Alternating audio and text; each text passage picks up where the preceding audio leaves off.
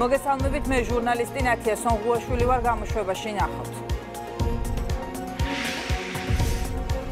ვოლოდიმირ ზელენსკის გადაწყვეტილებები და საქართველოს სამხრივი მეგობრობის პოლიტიკა.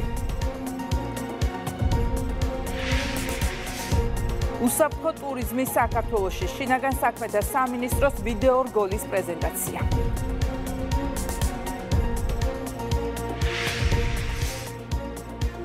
საქართველოს ელჩის შესახებ ვოლოდიმირ ზელენსკის გადაწყვეტილება შალვა პაპუაშვილის სოციალურ ქსელში გამოეხმაურა. პარლამენტის თავმჯდომარე უკრაინის პრეზიდენტს სტრასბურგის სასამართლოს გადაწყვეტილებას ახსენებს და წერს, რომ სასამართლოს გადაწყვეტილებების იგნორირება ან მათი დაკნინება უკრაინას რუსეთის წინააღმდეგ სამართლებრივ ფრონტზე გამარჯვებისთვის ყველაზე ნაკლებად სჭირდება. სტრასბურგის სასამართლოს გადაწყვეტილებათა იგნორირება ან მათი სხვაგვარად დაკნინება არის ის, რაც ახლა რუსეთის აგრესიის წინააღმდეგ სამართლებრივ ფრონტზე გამარჯვებისთვის ყველაზე ნაკლებად სჭირდება უკრაინას. სტრასბურგის სასამართლო მიხეილ სააკაშვილის საქმე განიხილა და ყველა აბსურდული ბრალდება უარყო ამდენად თვითდაზიანების და უსაფუძვლო ბრალდებების გამოყენება საქართველოს ხელისუფლების წინააღმდეგ როგორც სააკაშვილის ციხიდან გათავისუფლების სტრატეგია არათუ მიუღებელი არამედ ყველანაირ მორალურ საზღვრებს ცდება. მართველი გუნდის შეფასებით უკრაინის ხელისუფლების გადაწყვეტილება სუვერენული სახელმწიფო საქმეში ჩარევას ნიშნავს და სტრატეგიულ ურთიერთობებს აზიანებს. უმრავლესობაში თქვეს, რომ ვოლოდიმირ ზელენსკის ნაბიჯები რუსეთისთვის პოლიტიკურად მომგებიანია.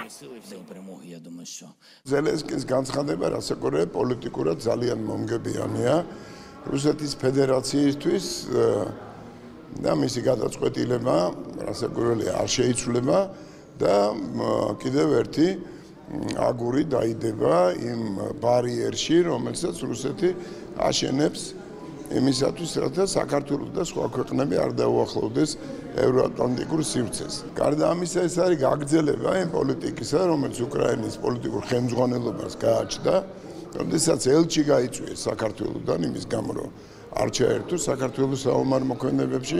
უზომოდ არაკეთილგანწყობილი ნაბიჯი იყო უკრაინის პრეზიდენტის მხრიდან ელჩის, ასე ვთქვათ, გამოშვება კონსულტაციისთვის, მხოლოდ და მხოლოდ იმისთვის, რომ მიხეილ სააკაშვილი, რომელიც დამნაშავე არის საქართველოს ქვეყნის სახელმწიფოს ზოგადად ერის წინაშე, რომ მან როგორღაც დააღწიოს თავი პატიმრობას მართულ გუნდში მიხელ სააკაშვილის პოლიტიკური მიმართულებით გააქტიურებას მილიონიანი პიარ კამპანიის ჩავარდნას და სტრასბურგის სასამართლოს გადაწყვეტილებას უკავშირებენ. საპარლამენტო უმრავლესობაში ამბობენ, რომ სააკაშვილს ქართულ პოლიტიკაში შანსები აღარ აქვს. იმ მილიონიანი კამპანიის შემდეგ, რომელიც ჩაატარეს, ეს ხო კლასიკური PR კამპანია დეзинფორმაციაზე დაფუძნებული, ერთ-ერთი დარჩენია, რომ თავისი განცხადებით, სტატუსებით ცოტა დისკომფორტი შემოიტანოს მთელ ამ პროცესში და როგორც აქამდე აკეთებდა თვითმმართველობის არჩევნებამდე, როგორი ფორმებითაც ყოფილი პრეზიდენტი საქართველოსში ჩამოვიდა, ზუსტად ამ გზის გაგრძელებაა ესეც და როგორც ყოფილი პრეზიდენტისგან სხვას ყველაფერს რო თავი დავანებოთ ეს არის მიუღებელი წარმოუდგენელი და პირდაპირ საბოტაჟი არის მათ შორის საქართველოს ევროპული გზის.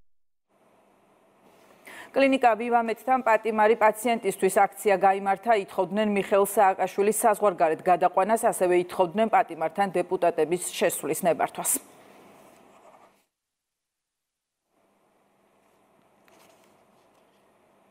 ვივამეთთან გამართულ აქციას კლინიკის გენერალური დირექტორი გამოეხმაურა ნინო ნადირაძემ სოციალურ ქსელში დაწერა, რომ შეკრებილები პაციენტების მიღების პროცესს ხელს უშლიდნენ.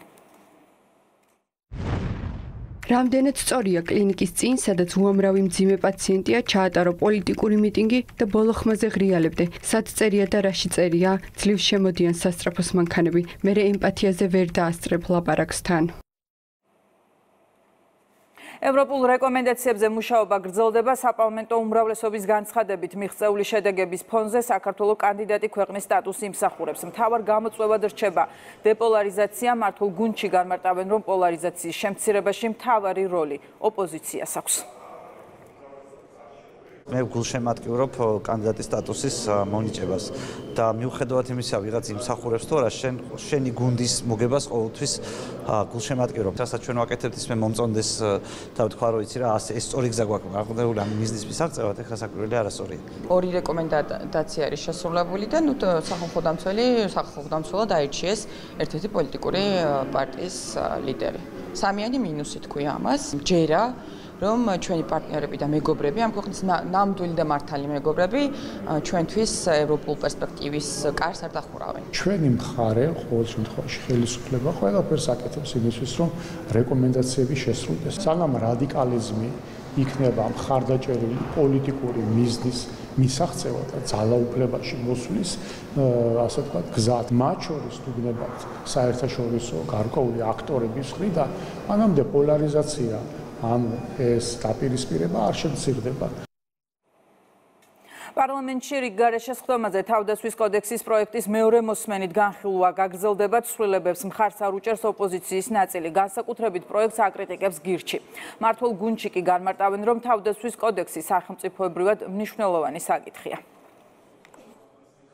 რაც შეეხება იმ ცვლილებებს რომელიც მომზადებულია თავდასხმის კოდექსის პროექტით ეს არის უნიშნულოვანესი რეფორმებისათვის, რომელიც ემსახურება თავდაცვის მიზნებს და ნატოსთან თავსებადობის ამაღლებას, სამართლებრივი საფუძვლის შექმნას, წესდება სამხედროებისათვის ძალიან მნიშვნელოვანი სოციალური გარანტიები და ჩვენ შეგვიძლია ვთქვათ, რომ მივიღებთ ძალიან მნიშვნელოვან დოკუმენტს, რომელიც მოემსახურება და გააძლიერებს თავდაცვის უნარიანობას. პროექტის განხილვის პარალელურად ასევე ჰქონდათ შესაძლებლობა გეხილათ ოპოზიციის ქცევა კოდექსის განხილვისას, ეს იყო ჩვეულებრივი პროცედურული ომი, რასაც ისინი ახორციელებდნენ. რა თქმა უნდა, იყო საკმაოდ ადეკვატური შეფასებებიც ოპოზიციის გარკვეული ნაწილის მხრიდან გაჟღერებული კოდექსთან დაკავშირებით. ეს არის პირდაპირი მავნებლობა და ქვეყნის მტრობა, იმდენად რამდენადაც დღეს საქართველოს თავდაცვის უნარიანობის გამტკიცება არის საციცოცხლო მნიშვნელოვანი ჩვენი ქვეყნისთვის და ახალი თავდაცვის კოდექსი ქმნის ამის მყარ სამართლებრივ საფუძვლებს.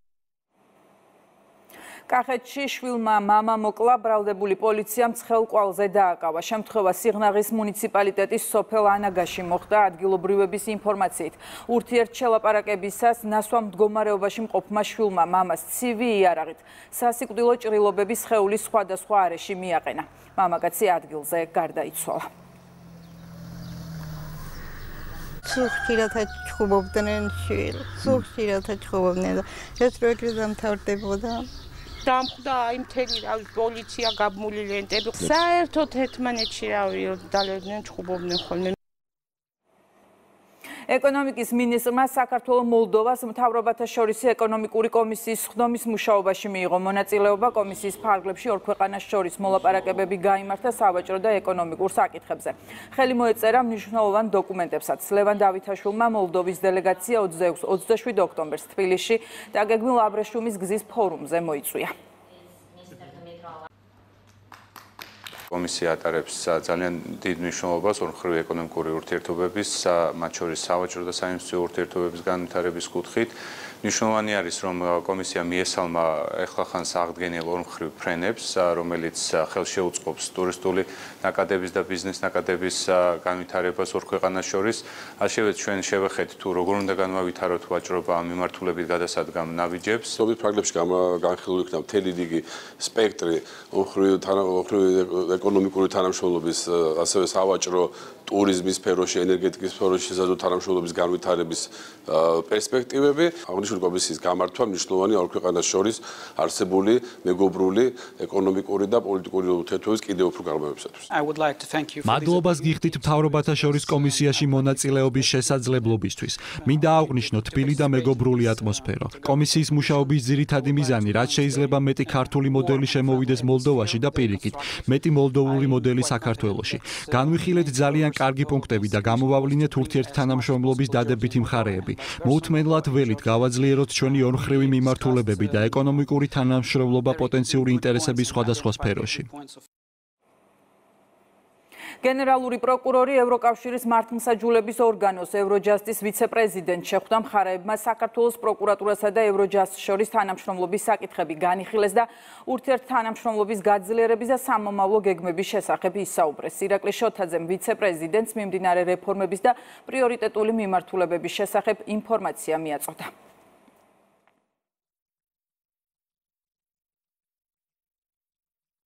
განვიხილეთ ის მიმდინარე საქმეები, რომლებზეც მუშაობთ ევროჯასტის ხელმძღვანელობით და დავგეგმეთ კონკრეტული ღონისძიებები და ქმედებები, რომელმაც ხელი უნდა შეუწყოს ამ საქმეებზე ეფექტიანი შედეგის მიღებას.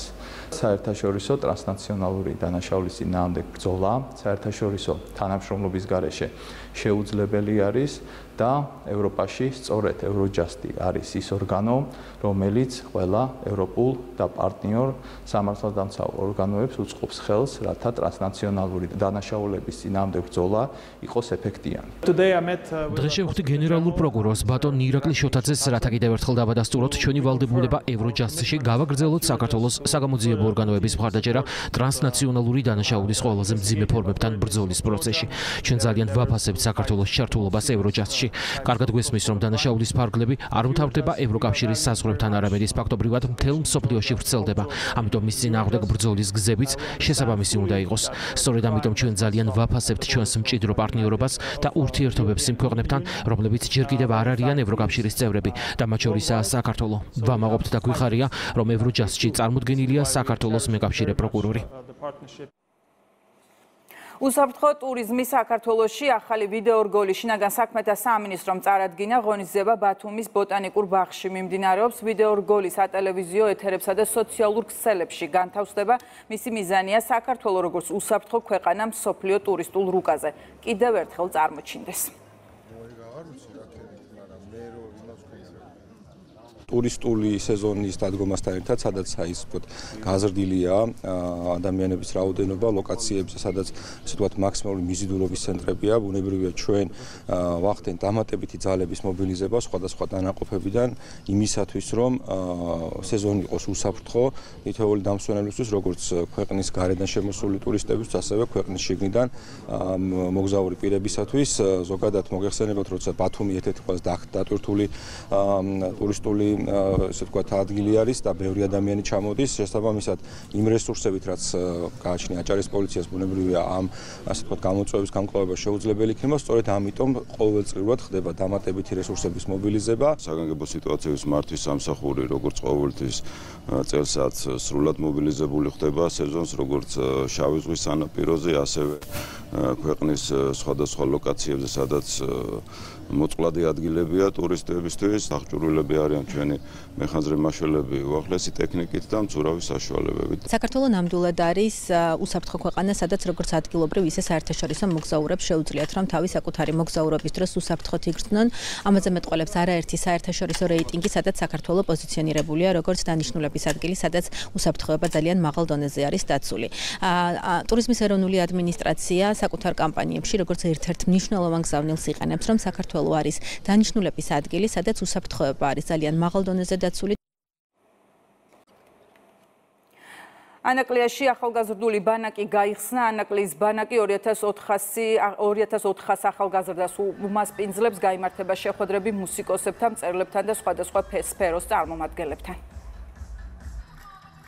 ჯამში 2400 ბავშვი და ახალგაზრდა, რომელიც ამ ბანაკში დაისვენებს, ერთმანეთს გაიცნობს, აქ ჩამოსული სტუმრების, საზოგადოების, თვალსაჩინო წარმომადგენლების ლექციებს, ტრენინგებს მოისმენს, მიიღებს მნიშვნელოვან ინფორმაციას და იმედი მაქვს მიიღებს ასევე ჩვენი სასიქადულო სტუმრებისგან ცხოვრებისეულ გამოცდილებასაც.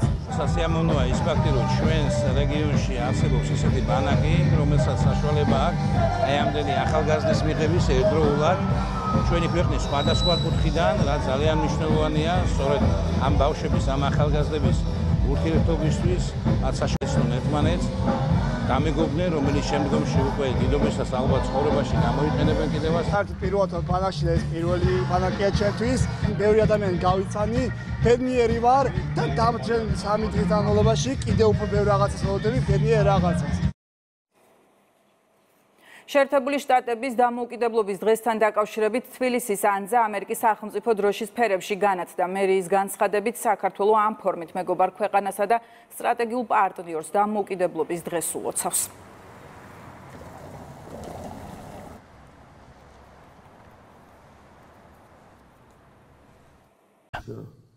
enjoy a lot და ამ წუთებში უმრავლესობის ლიდერი და პარტია ქართული ოცნების თავმჯდომარე ჟურნალისტების კითხვებს პასუხობს პირდაპირ ეთერში ვთავთ პარლამენტს. გუშინ გავაკეთეთ უკვე კომენტარი ამ თემასთან დაკავშირებით. მე მინდა პირველ რიგში შეგახსენოთ, რომ ჩვენი ელჩი უკრაინაში არის ის ადამიანი, რომელიც ომის დაწყების პირველი დღიდან დარჩა კიევში, ასხოვებით ბევრი სხვა ელჩისგან, მათ შორის უკრაინის სტრატეგიული პარტნიორი ქვეყნების ელჩებისგან და ყოველდღიურ რეჟიმში. მიუხედავად იმისა, რომ რუსული დანგები იყო კიევის მიმდგარი, ის რჩებოდა კიევში, უკრაინის დედაქალაქში და ზრუნავდა ძალიან ბევრ რამეს. ჰუმანიტარული კუთხით, პოლიტიკური მხარდაჭერის კუთხით მისი როლი იყო, რა თქმა უნდა, ძალიან მნიშვნელოვანი. მით უმეტეს ამის გათვალისწინებით, ეს სრულ არ ყოფილიყო, მაგრამ მით უმეტეს ამის გათვალისწინებით, რა თქმა უნდა, უკრაინის ხელისუფლების ეს ნაბიჯი არის შეურაცხყოფელი და შესაბამისად ძალიან დასანანი და ძალიან სამწუხარო, თუმცა ამის მიღმა ჩვენ არ ვაპირებთ, რა თქმა უნდა, მათ შორის არც კომენტარებით. რეაგირებას ჩვენ გვირჩევნია როგორც უკვე ითქვა, დავრჩეთ სამხრები მეგობრობის რეჟიმში უკრაინის ხელისუფლებას. ამ გადაწყვეტილებამ ოპოზიციის ნაწილი მაგალითად პრობლემას ოპოზიციის ნაწილი პრობლემას ვერ ხედავს ასეთ გადაწყვეტილებაში თუმცა ნაწილი ამბობს რომ მიუღებელია ისინი ვინც მანამდე იწოლებდნენ ყველაფერს რაც ახლა ოპოზიციის ამ რეაქციას ეს კიდევ ერთი დასტურია იმისა რომ ეს ოპოზიცია არის სინამდვილეში არა ქართული ოპოზიცია, რომ ისინი არიან უბრალოდ უცხოელი აგენტები. სხვა ახსნა ასეთ დამოკიდებულებას საკუთარი ქვეყნის მიმართ არ შეიძლება გქონდეს. როცა გაქვს ასეთი დამოკიდებულება საკუთარი ქვეყნის მიმართ, ეს ნიშნავს იმას, რომ ისინი არ არიან ქართველები ამ სიტყვის სათანადო გაგებით, ისინი არიან უცხოელი აგენტები. ამიტომ შეუძლიათ საკუთარ თავს უფლებამისენ გააკეთონ ასეთი განცხადებები. ეს არის ამორალური, ეს ცხადყოფს მათ დამოკიდებულებას საკუთარი ქვეყნის მიმართ. ოპოზიციასთან დაკავშირებით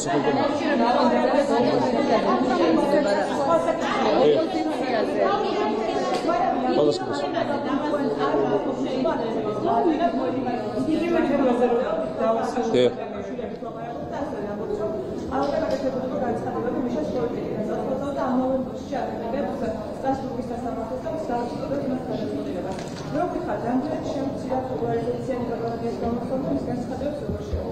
ნუ ერთი რაც შეეხება ნაცმოძრაობის და სტრასბურგის სასამართლოს დაპირისპირებას, ეს არის უკვე რაღაც ქრესტომატიული მოვლენა. ყოველ ჯერზე რამდენჯერაც წავიდა ნაცმოძრაობა, ამა თუ იმ ფორმით სტრასბურგის სასამართლოში, ყველგან დარჩა წაგებული. რამდენჯერ უჩივლეს ნაცმოძრაობას ყველა საქმეში დარჩა წაგებული და რამდენჯერაც თვითონ შეიტანა სარჩელი სტრასბურგის სასამართლოში, ყოველ ჯერზე დარჩა წაგებული. აქედან გამომდინარე არ გიგურს რა თქმა უნდა, ნაცმოძრაობის ერთ-ერთი ლიდერის გვარამიას ეს განცხადება სტრასბურგის სასამართლოსთან დაკავშირებით. რაც შეეხება იმას, რომ ჯანმრთელობაზე არ დაყოფილიყო გადატანილი ყურადღება, რა თქმა უნდა, ამაში ვეთანხმები გვარამიას. ეს 600 დღიანი ფეიკი საბოლოო ჯამში გასკდა საფნის ლუშტივით როგორც კი სტრასბურგის სასამართლომ მიიღო გადაწყვეტილება ამ თემაზე მაშინე მოუწია სააკაშვილს იმის თქმა რომ ის აღარ გდება 600 დღის თავზე მან უარი თქვა საკუთარ ყოველდღიურ სიკვდილზე და პირიქით განაცხადა პოლიტიკაში დაბრუნების თაობაზე. რაც ახლა თვითონ გვარამიას ქმედებებს მისი მაპოლარიზებელი ქმედებები თანდათანობით სულ უფრო გაღრმავდება ამაში ბუნებრივი ეჭვი არავის ეპარება, ბოლოს დაასრულებს რა თქმა უნდა ისე იმით, რითაც დაიწყო, ეს არის ბილსიტყვაობა და ამ შემდეგ. ეს ბუნებრივია ყოველას მოლოდინი. იგი ყოველას კი 1 2 3 გონჩარები ესეთი რაღაც სხვა პრიორიტეტში თუ არაფერი შეიძლება მე ვფიქრობ რომ არცელში დაბრუნება უკრაინაში ეს ნიშნავს რომ მორგოვანა შორის ურთიერთობები გაიყინება ეს არის რომ დიპლომატიური პირობების დასრულება თუმცა იქნება დახევა როგორ შეაფასებთ იმას რომ თუ გადაწყვეტილებას არ შეძლებს ქართული ოცნება ელჩი ვეღარ დაბრუნება აღარ მიიღებენ უკრაინაში საქართველოს. ასეც და ისეც გონჩარენკოს არც ერთ სიტყვა არ არის ღირებული. თქვენ ისეთ ვინ არის ეს კაცი ხო? გეორგიევსკის ლენტით დარბოდა ჯერ და მერე ვითომ გახდა უკრაინის კონფორმალე გულშემატკივარი ხო? ნუ არავითარი ფასი არ აქვს არც უკრაინაში სხვათა შორის. და მე თვითონ ჩვენთანაც ვერ ექნება გონჩარენკოს რაიმე სიტყვას რაიმე ფასი. ნუ ეს ერთი აი ხო იმას თუ როგორ შეიძლება გაგზელდეს ჩვენი ურთიერთობები? ჩვენ მზად ვართ კიდევ ერთხელ გამიმერებ რომ ყველა შემთხვევაში დავრჩეთ სამხრივი მეგობრობის რეჟიმში. ერთი მარტივი მიზეზის გამო. ერთი ეს არის რომ ჩვენ პატივი უნდა ვცეთ საუკუნოვან მეგობრობას საქართველოსა და უკრაინას შორის, ქვეყნებს შორის, ხალხებს შორის. ეს ერთი და მეორე უკრაინა ეს ქვეყანა დღეს არის ომის მდგომარეობაში. ეს არის ერთადერთი მიზეზი, რატომაც ჩვენ უნდა დარჩეთ სამხრივი მეგობრობის რეჟიმში, თუნდაც უკრაინის ხელისუფლებასთან მიუხედავად ამ შეურაცხყოფელი ნაბიჯებისა, რომლებიც გადაიჭრა. ოპოზიცია, ოპოზიციაზე საუბრობთ.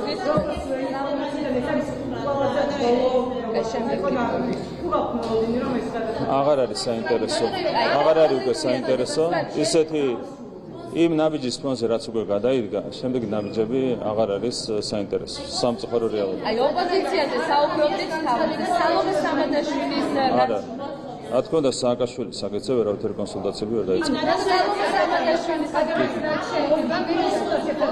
თქმა უნდა, რა თქმა უნდა, რა თქმა უნდა, აბსოლუტურად გამორიცხული.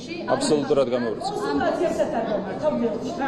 აბსოლუტურად გამორიცხულია კონსულტაციები სააკაშვილის საკითხთან დაკავშირებით. რაც შეეხება არახამიას განცხადებას ერთ-ერთ საფუძველი ინტერვიუში ამბობს, რომ წარმოუდგენელია საქართველოს კანდიდატის სტატუსი და ამის ერთ-ერთი დამოკიდებელია საქართველოს ხელისუფლების მიერ გადადგმული ნაბიჯების პრინციპი არახამია. თქვენ და ვისი ცდილობა აქვს ახლა არახაგას კიდევ იყო ერთ-ერთი კი. ვისი ცდილობა აქვს. ნუ ბუშინ ერთ-ერთი რადიკალური ოპოზიციის ლიდერი გამოვიდა და თქვა ასეთი რაღაც რომ ზელენსკი შეუძლია დაბლოკოს უკრაინის ხელისუფლებას ქონდა საუბარი შეუძლია დაბლოკოს საქართველოსთვის კანდიდატის სტატუსი და ვიღაცებს ამის იმედი აქვს რომ მათ შორის უკრაინის ხელისუფლება იქნება გამოყენებული კანდიდატის სტატუსის დასაბლოკად. რაც შეეხება პირადად არახამიას, მე არსაუბრობ სელენსკიზე. რაც შეეხება პირადად არახამიას, ну, მას არ აქვს სამშობლო. არც უკრაინა არ არის მისი სამშობლო, არც საქართველო, არც რუსეთი, არც ერთი სამშობლო არ აქვს მას, არც ერთი. ну, განსაკუთრებით მნიშვნელოვანია უკრაინა და საქართველო. აქედან გამომდინარე, ну, ის მოქმედებს არა რაღაცა პატრიოტული ინტერესების კარნახით უკრაინის მიმართ ან საქართველოს მიმართ ის მოქმედებს სხვა ინტერესების განახით, რაზეც არ მინდა მე დეტალებში საუბარი, მაგრამ სამწუხაროდ ეს კაცი ვერ იქნება ვერანაირად ღირებული. იქნა გამომდინარე, რომ მას სერიოზული პრობლემები აქვს. აი, ორი ტიპი ამას დავაგზავნე. სამადაშვილთან დაკავშირებით მის ეს სიტყვები უკრაინა ახლა ზელენსკის ეთმის სიტყვა ამ პროცესში, აი ეს რას ნიშნავს და თუნდაც არახამიას ეს განცხადება. ახლა ერთობლივ ხარ გვაქვს თუ არა საქმე. ნუ ეს არის ილუსტრაცია რადიკალურ ოპოზიციას აქვს იმედი რომ ჩვენთვის კანდიდატის სტატუსის მინიჭება დაიბლოკება უკრაინის ხელისუფლების მეშვეობით. ამის იმედი აქვს. ჩვენ მოისმინეთ გუშინ დეტალური ანგარიში 12 პუნქტთან დაკავშირებით, საიდანაც ჩანს, რომ დღემდე ეს გაკეთება შეიძლებოდა ყველაფერი გააკეთა ხელისუფლებამ.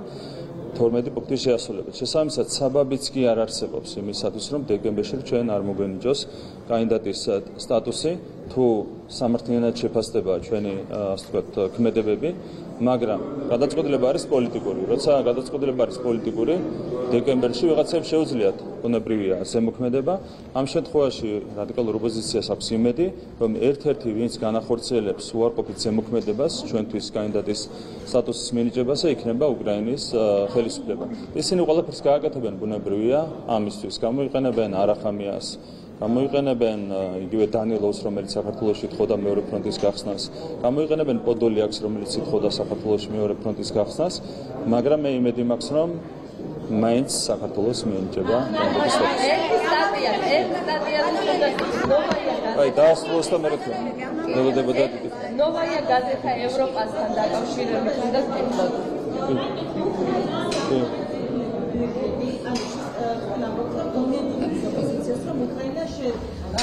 გავლენას იქონია სტატუსის საკითხზე. რეალურად რამდენად იქნება გავლენა მასშტაბურ პარტნიორებზე უკრაინის პოზიციაზე? თუ ყველაზე ცუდ ვარიანტში აი ეს სიტუაციაში მოიყვანა ამ თემას მაშინ ეს დასაბეჭე ნუ გადამწყვეტი არ იქნება რა თქმა უნდა უკრაინის ხელისუფლების პოზიცია, გადამწყვეტი იქნება გლობალური ომის პარტიის პოზიცია. თუ მათ ექნება ცურვილი, რომ კიდევ ერთხელ დაბლოკონ საქართველოსის კანდიდატის სტატუსის მინიჭება, ამის გაკეთება შეუძლიათ. ნებისმიერი ერთი ქვეყანა 27-დან შეუძლიათ გაწიონ გვერდით და ასეთ შემთხვევაში ჩვენ აღარ მოგვენიჭება კანდიდატის სტატუსი. აქედან გამომდინარე ფაქტორი არის არა უკრაინის ხელისუფლება, არამედ გლობალური ომის პარტია. თუ ისინი დეკემბერში დაინახავენ, რომ არ არის სიმყარე, ან ხელისუფლებაში თეორიულად, ან საზოგადოებაში, ამ შემთხვევაში გაიზრდება მათი мотиваცია, რომ არ მოგვენიჭოს კანდიდატის სტატუსი, მაგრამ თუ დაინახავენ ისინი, რომ შენარჩუნებულია ის მდგომარეობა, რომელიც გვაქვს დღეს, თუ დაინახავენ რომ ხელისუფლებაში არის სრული სიმყარე როგორც არის დღეს თუ დაინახავენ რომ საზოგადოებაში არის სიმყარე როგორც არის დღეს ასეთ შემთხვევაში იზრდება ჩვენი შანსი რომ მოგვენიჭოს კანდიდატის სტატუსი. მხოლოდ იმ შემთხვევაში უღირთ სტატუსზე უარე გლობალურ რომის პარტიაში თუ დაინახავენ რომ ამით მოარკვევენ სიტუაციას ქვეყანაში. ამიტომ ჩვენ თავარი რაც უნდა გავაკეთოთ ეს არის სიმყარესე ზრუნვა ხელისუფლება იქნება მყარად დეკემბერში და დარწმუნებულია რომ საზოგადოებაც იდგება მყარად იმ პოზიციებზე რომლებიც რომელიც ჭირდება ჩვენს ქვეყანაში. ნოვაია გაზეთა ევროპა. ნოვაია გაზეთა ევროპა სტატია ამბობს. აი თანმიმდევრობით დიდი ხანია დაგვეცილებული.